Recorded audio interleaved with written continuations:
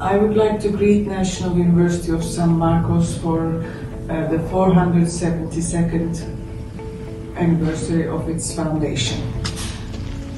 San Marcos is the oldest operating university in Americas and among the most important, distinguished, deep-rooted ones, not only in Peru but also in the region. We are happy that we are cooperating uh, with San Marcos University and we would like to further cooperate uh, and to organize joint cultural events, to offer Turkish classes, to promote Turkish culture in Peru in the period ahead.